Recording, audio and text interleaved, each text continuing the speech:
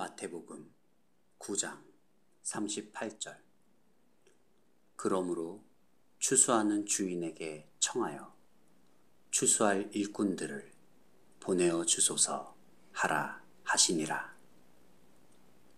선교의 문제를 해결하는 열쇠는 하나님의 손에 있습니다. 그 열쇠는 기도이지 사역이 아닙니다. 특별히 최근에 사람들 사이에 널리 퍼진 프로그램은 더더욱 아닙니다. 그 프로그램들은 하나님께 집중하는 것을 회피하게 만들고 있습니다.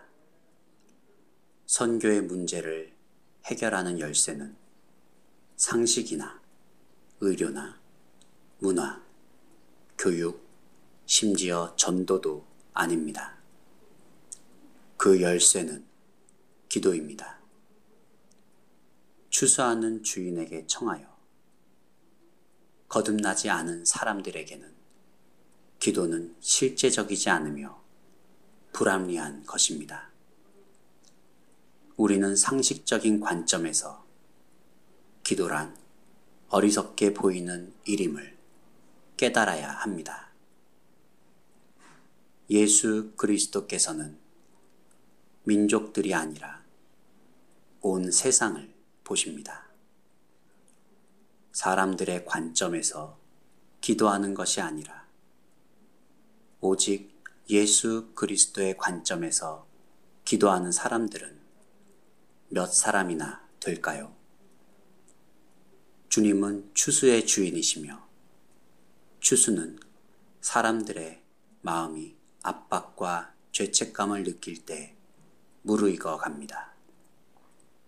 바로 이러한 때가 추수할 일꾼을 보내달라고 기도해야 하는 추수의 때입니다. 주변의 사람들은 무르익어 추수를 기다리고 있는데 우리는 프로그램에 너무나 사로잡혀 한 사람도 추수하지 못하고 있습니다.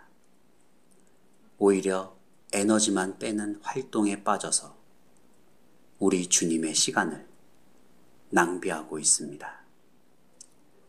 당신의 아버지와 형제의 삶에 위기가 온다고 가정해 봅시다.